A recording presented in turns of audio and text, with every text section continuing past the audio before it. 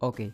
Hello chatters my name is Rohit and you are watching Wrestle Chatter अब बहुत साल ऐसे होता है कि जब ऑफिशियली डब्ल्यू डब्ल्यू ने रेसल मीनिया के मेन इवेंट के लिए कोई चैंपियनशिप मैच ऑफिशियल कर दिया होता है तो उससे पहले व्यू के अंदर क्या करना है? डब्ल्यू डब्ल्यू हो जाती है क्लूलेस और शायद हमको यही चीज़ देखने को मिल रही है यूनिवर्सल चैंपियनशिप के साथ भी, और क्या रेसल मीनिया थर्टी का main event Roman Reigns versus Edge का मैच है खतरे में, क्योंकि आज जो स्टील गेज मैच के अंदर हुआ हमको बहुत ही डिफरेंट चीज़ें बताता है। तो पूरे स्मैकडाउन के शो के बारे में आज हम लोग बात करने वाले हैं इस वीडियो में, कैसा स्मैकडाउन का एपिसोड था अच्छा था, बुरा था वो सारी बातें और आप क्या करना है? आपको देखना है इस वीडियो को बिल्कुल लास्ट तक और वीडियो को लाइक नहीं किया तो भाई लाइक ज़रूर कर देना। अब सबसे पहले हमको जो शो की स्टार्टिंग है, वो रोमन रेंज के पॉसिबल चैलेंजर डैनल वैन के साथ ही देखने को मिलती है। डैनल वैन आते हैं रिंग में साथ में माइकल कोल भी खड़े होते हैं और हमको ना स्क्रीन के ऊपर पूरा का पूरा वो कार्ड ही दिखा देते हैं, जहाँ पर रोमन रेंस एंड जे उसमें एक तरफ़ और दूसरी तरफ़ है एज और डैनियल ब्रायन माइकल कोल ये कहते हैं कि भाई, तुम्हें एकदम से तुमने अपना ऐसा डिसीज़न क्यों बदल लिया? तुम टैग टीम मैच के साथ क्यों नहीं जा रहे? तुम रोमन रेंस को यूनिवर्सल चैंपियनशिप के लिए क्यों चैलेंज करना चाह रहे हो? जबकि ये मैच होने वाला था। अब इस पर डैनल कहते हैं कि भाई, तुम अपने आप से ना अपनी एजम्पन मत लगाया करो। मैंने तो कभी कहा ही नहीं कि मेरे को वाला टैग टीम मैच चाहिए। इन सारे बंदों ने खुद से मिलकर ही कर लिया मेरे से किसी ने कुछ पूछा नहीं टैग टीम मैच कर दिया, लेकिन मेरे को भाई चाहिए यूनिवर्सल चैंपियनशिप और यहाँ पर सीधी सीधी एक बार डेल मैन ने बिल्कुल क्लियर कर दी कि भाई देखो, अभी तक मैं ये सोच रहा था कि मैं फुल टाइम डैड बनूँगा और पार्ट टाइमर बनूँगा डब्ल्यू डब्ल्यू के अंदर बट अब ये सारी चीज़ें मैंने पीछे छोड़ दी हैं। मैं दूसरे टैलेंट्स को आगे नहीं रखूँगा, बल्कि मैं खुद से अपने आप को आगे लेकर आना चाहता हूँ। उन्होंने ये भी कह दिया कि भाई देखो, पिछले तीन हफ्तों के अंदर मैंने जितने मैचेस लड़े ना, पिछले तीन महीनों के अंदर मिला के रोमन रेंस एज ने मैचेस हासिल कर रहे हैं। मतलब यहाँ पर बहुत ही ज़्यादा ये पैशनेट प्रोमो काटते हैं डेलमानो लगता है भाई इस बंदे को यूनिवर्सल चैंपियनशिप चाहिए चाहिए, इसको टैग टीम मैच से कोई भी मतलब नहीं है। इतने में सीन ये बनता है कि रोमन रेंज जे उसो पॉलमेने सारे आ जाते हैं और हमको ये देखने को मिलता है कि रोमन रेंज कह रहे हैं कि भाई, तेरी बात है मेरे को पूरी कंफ्यूज करने वाली लगती है। वो यहाँ पर बता दें कि कैसे रोमन रेंज इस बिज़नेस को पसंद करते हैं और इस बिज़नेस को रोमन रेंज की ज़रूरत है। स्मैकडाउन को रोमन रेंज की ज़रूरत है डैनल ब्राइन को रोमन रेंज की ज़रूरत है पॉल हेमन जे उसो दोनों को रोमन रेंज की ज़रूरत है।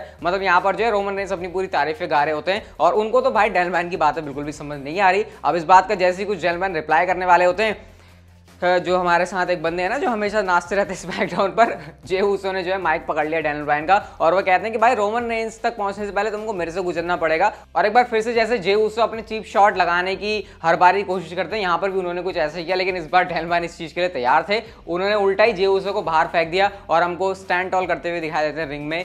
डैनल ब्रायन के साथ साथ रोमन रेंस और उनको, उनके बीच एक स्टेयर डाउन भी देखने को मिलता है। और मेन इवेंट के लिए आज सेट था स्टील केज मैच। तो इस तरीके से डब्ल्यू डब्ल्यू ने ओपनिंग करी स्मैकडाउन के एपिसोड की और एकदम से मेरे को ये देखकर अच्छा लगा कि डैनल ब्रायन की बुकिंग तो चलो सही हो रही है। मतलब वो बात अलग थी कि वो नए टैलेंट्स को आगे लेकर आना चाह रहे हैं, लेकिन भाई जब पुराने टैलेंट से डब्ल्यू डब्ल्यू का काम चला तो शायद उसी चीज़ को दिखाना चाहिए। लेकिन खैर, अभी बात इसके बारे में आगे भी और करेंगे। नेक्स्ट चीज़ हमको देखने को मिलती है किंग कॉर्बेन और Sami Zayn versus Street Profits का मैच, जो कि होने तो एक टैग टीम मैच होने वाला था। लेकिन हमारे बैरन कॉर्बन कहते हैं, भाई, मैं कोई टैग टीम का बंदा नहीं हूँ, मैं एक सिंगल्स कंपेटिटर हूँ। और उसके बाद हमको सिंगल्स मैच देखने को मिलता है King Corbin versus Montez Ford का, जहाँ पर किंग कॉर्बन तो जीत जाते हैं, लेकिन इसके बाद जब सैमी जेन का मैच होता है एंजेलो डॉकिंस के साथ तो सैमी जेन इस मैच के अंदर हार गए और भाई वो बहुत ही ज़्यादा पगलाए हुए हैं, बहुत ही ज़्यादा गुस्से में सैमी जेन ने यहीं पर कैमरामैन के ऊपर भी अटैक कर दिया तो मैं सही बताऊँ तो बहुत सारी स्टोरी लाइन चल रही है स्मैकडाउन के ऊपर, जिसमें मैं इन्वेस्ट नहीं कर पा रहा और वो इस वजह से कि प्रॉपर थिंग्स लॉजिक और सेंस के साथ बहुत ज़्यादा मिसिंग चल रही है। फिर चाहे वो रॉ पर ही क्यों ना फिर चाहे वो स्मैकडाउन के ऊपर ही क्यों ना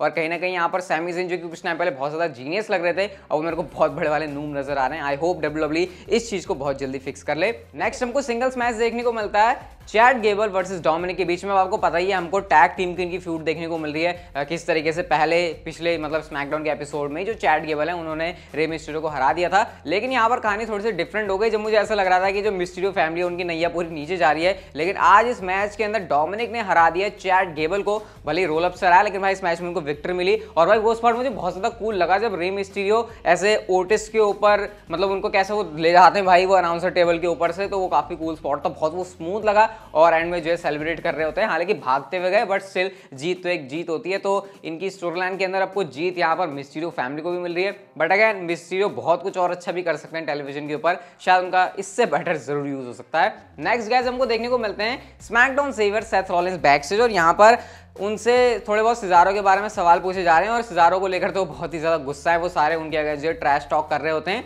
लेकिन तभी गाइस हमको एक बहुत ही इंपॉर्टेंट चीज़ देखने को मिलती है और मैंने अभी आपको रिसेंटली बताया नहीं था कि सोशल मीडिया के ऊपर मर्फी ने सेथ रॉलिंस के साथ फ़ोटो डाली अब इसका क्या मतलब है? इसका मतलब यह है कि मर्फी ऐसा लग रहा है कि शायद फिर से सेथ रॉलिंस की साइड पर आना चाह रहे हैं, लेकिन मर्फी को देखकर सेथ रॉलिंस बैक से इतना ज़्यादा कोई खुश नहीं होते हैं। खैर, अभी इसके बारे में बात करने के लिए भी आगे भी कुछ है, क्योंकि मर्फिन सेथ्रोलिन हमको थोड़ा सा रिंग के आसपास भी मतलब रिंग के एक्शन में देखने को मिले मर्फी, उसके बारे में थोड़ी सी भी तब बात करेंगे। लेकिन गाइस इससे पहले हमको देखने को मिलता है नेक्स्ट मैच विमेंस डिवीज़न से Bianca Belair versus Shayna Baszler जो कि मैच जो है पहले से ही ऑफिशियल था। और ये इसलिए था क्योंकि फास्ट लेन के अंदर टैग टीम चैंपियनशिप के लिए Sasha Banks and Bianca Belair versus Nia Jax Shayna Baszler का मैच होने वाला है। अगेन यहाँ पर कोई चांस ही नहीं बनता था कि बियांका ब्लेयर इस मैच को हारें मतलब क्यों हारेंगी वो? उनको तो रेसलमेनिया 37 में साशा बैंक्स को चैलेंज करना चैंपियनशिप के लिए। हालाँकि रिंग साइड के ऊपर ना थोड़ी सी भसड़ मच जाती है। जब रेजिनाल्ड भी यहाँ पर होते हैं नाया जैक्स उनको मारने जाती है, लेकिन उस चक्कर में साशा बैंक्स भी लपेटे में आ जाती है। और किसी तरीके से बियांका प्लेयर मैच को जीत तो गई, लेकिन मैच के बाद वो कंप्लेन कर रहे हैं कि भाई, तुम्हारी वजह से तो मैं ऑलमोस्ट मैच हार ही गई थी। रेजनाल्ड के यहाँ पर कड़क वाला थप्पड़ भी पड़ जाता है साशा बैंक्स की तरफ़ से। और बाद में हमको मतलब शो पर पहले ये भी देखने को मिलता है कि कार्मेला ने ऑलरेडी रेजिनाल को अपनी साइड से भगा दिया है। फिर backstage Nia Jax, Shayna Baszler, पता नहीं क्या पटाने की कोशिश कर रहे हैं। रेजिनाल को कह रहे हैं, तुम तो बहुत क्यूट हो। पता नहीं भाई, ये मतलब चल क्या रहा है? रेजिनाल्ड के साथ डब्ल्यू एग्जैक्टली करना क्या चाहती है? टीवी टाइम तो उनको बहुत ज़्यादा मतलब भाई तीन तीन सेगमेंट के अंदर बंदा फीचर हो रहा है। पता नहीं एक्जैक्टली क्या उनके लिए प्लान है, लेकिन कुछ तो कहानी बनने वाली उनके साथ भी इंटरेस्टिंग लेट्स सी इसके अंदर क्या होता है। बट खैर फास्ट में जो टैग टीम मैच होने वाला है, उसमें तो मेरा कोई इंटरेस्ट है नहीं। इसके बाद गए हमको मर्फी वर्सेस जारो का मैच देखने को मिलता है, जो कि एक सिंगल्स मैच था। और इस मैच के दौरान कॉमेंट्री टेबल पर हमको सेथ रॉलेंस भी देखने को मिल रहे हैं। मुझे ऐसा लग रहा था कि शायद यहाँ पर कुछ होने वाला है मर्फी और सेथ रॉलेंस के बीच में। क्या इनकी स्टोरी लाइन आगे भी बढ़ सकती है। मतलब अभी हमको कुछ हिंट नहीं मिला क्योंकि सिजारो इस मैच में जीत गया, उन्होंने मर्फी को हरा दिया और मैच के बाद भी ऐसा कुछ खास हुआ नहीं। लेकिन ये चीज़ देखिए मैं डिसअपॉइंट हुआ कि भाई सेथ रॉलिंस का ये यूज़ हो रहा है स्मैकडाउन के ऊपर।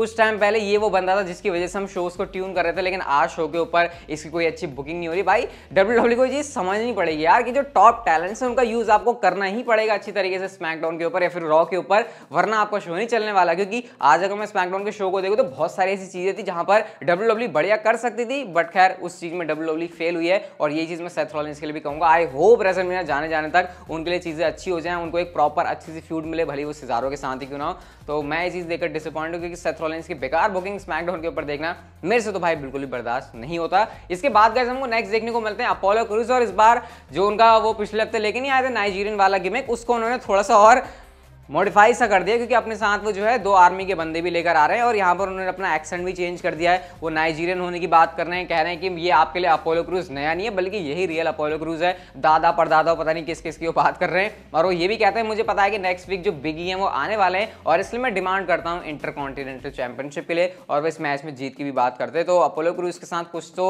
अलग इंटरेस्टिंग डब्ल्यू कर रही है। उनके बोलने का तरीका सही बताऊँ तो मुझे काफ़ी पसंद आया। पिछले हफ़्ते मेरे को ये चीज़ इतनी ज़्यादा अच्छी नहीं लगी थी, लेकिन आज मुझे ऐसा लग रहा है कि इसमें नई नई लेयर्स ऐड हो रही है तो शायद अपोलो क्रूज के लिए काफ़ी अच्छी चीज़ हो सकती है। तो खैर, ये था भी अपोलो क्रूज का सीन अभी देखते हैं बिगी के लिए वो कितना बड़ा थ्रेट हो सकते हैं, क्योंकि बिगी जब आएँगे ना, भाई वो बंदा पूरा गुस्से में होने वाला है। इसके बाद गए हमको जो बैक स्टेज से ट्रॉपिकाना फ़ील्ड में जो रिंग रेल होती है, वहाँ पर देखने को मिलती है बेली जिनका डेंग डोंग वाला सेगमेंट होता है। बहुत ही छोटा सा सेगमेंट था, जहाँ पर वो ट्वीट्स पढ़ रही हैं, उनके बारे में लोग अप्रिशिएट कर रहे हैं, लेकिन जैसे ही ऐसा ट्वीट आता है, जो कि उनको शायद पसंद नहीं आता, उन्होंने अपना जो पूरा डिंग डोंग वाला शो है, उसको बंद कर दिया, वो अपनी दरवाजे से चली जाती है। पता नहीं ये चीज़ क्या थी, इसको नहीं भी करते तो ये सही रहता। बट मेरे को नहीं पता एग्जैक्टली कि ये इसको करने का क्या मतलब है। खैर, सब चीज़ों को साइड में रखते हैं। बात करते हैं शो के मेन इवेंट की, जो कि था steel cage match Jey Uso versus Daniel Bryan के बीच में। और अगर डैनियल ब्रायन इस मैच को जीतते हैं तो वो फेस करेंगे फास्ट लेन में रोमन रेंज को यूनिवर्सल चैंपियनशिप के लिए। सभी की एंट्री हो जाती है और गैस हमको रोमन रेंज भी देखने को मिलते हैं रिंग साइड के ऊपर, जहाँ पर बिल्कुल ब्रे वाइट की याद उन्होंने मेरे को दिला दी। जैसे ब्रे वाइट नहीं बैठे रहते थे अपने उस जगह पर, अपनी चेयर लेके। खैर, उनकी तो वो नाचने वाली चेयर होती थी, लेकिन रोमन रेंज यहाँ पर आराम से बैठे होते हैं। पॉल ने भी उनको ज्वाइन किया होता है और मैच स्टार्ट होता है जे उसो और टेलमैन के बीच में। एज एक्सपेक्टेड मैच में कोई भी कमी नहीं थी। दोनों सुपरस्टार्स ने स्टील केज मैच की स्टिपुलेशन के हिसाब से इस मैच में डिलीवर भी किया। बट ये चीज़ देख के मैं शॉक हुआ सरप्राइज़ हुआ कि इस मैच के अंदर हमको एज नहीं देखने को मिले, ना रोमन रेंज की इन्वॉल्वमेंट हुई, बल्कि हमको एक क्लियर रिज़ल्ट देखने को मिलता है क्लीन रिज़ल्ट देखने को मिलता है, जब डेल वैन ने इस मैच में सबमिट करवा दिया अपने येस लॉक के साथ जे ऊसो को and now Daniel van will face Roman Reigns at Fastlane for the Universal Championship अब मैं यहाँ पर ऐसा क्यों कह रहा हूँ कि डब्ल्यू डब्ल्यू क्लूलेस हो जाती है कि रेसल में थर्टी सेवन में जब कोई मैच ऑफिशियल हो जाता है तो उससे पहले पेपर के अंदर करना क्या है? क्योंकि मुझे ये नहीं लगता कि कोई भी बंदा ये सोच रहा होगा कि रोमन रेंज हारने वाला अपनी यूनिवर्सल चैंपियनशिप को, इससे बेटर सीन यही बनता कि भाई एज और डेलमैन का टैग टीम मैच होता। इससे जो रेसलमेनिया 37 के मेन इवेंट के लिए जो बड़ा मैच है, उसको हाइप मिलती। अब डब्ल्यू डब्ल्यू दिखाना तो ये चाह रही है कि रोमन रेंस एंड अब एज का जो मेन इवेंट का मैच है रेसलमेनिया 37 के लिए, वो खतरे में है।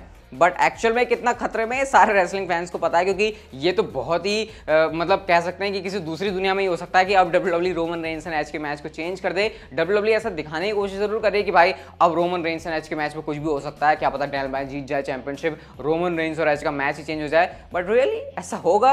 ये मुझे पता है बहुत सारे फैंस को ऑलरेडी बिलीव है कि डब्ल्यू डब्ल्यू नहीं करने वाली तो बेटर मेरे ख्याल से टैग टीम मैच होता। मैं ये नहीं कह रहा कि डैन को अपॉर्चुनिटी मिल गई तो मैं इसके अगेंस्ट हूँ बट डेफिनेटली ये कहीं से थोड़ा मुझे अटपटा डिसीज़न लगा। बाकी इसके बारे में आपके क्या थॉट्स है कि आपको लगता है कि डेलमैन को जीतना चाहिए था। मुझे कॉमेंट करके आप लोग ज़रूर बता सकते हो। ये वाली वीडियो गाइज़ अगर आपको अच्छी लगी तो लाइक किए बना कहीं मत जाना और चैनल को कर लो सब्सक्राइब नोटिफिकेशन बेल कॉन क्योंकि चैनल के ऊपर आपको प्रो रेसलिंग से जुड़ी ऐसी इंटरेस्टिंग वीडियोस डेली देखने को मिलती रहती है। Next video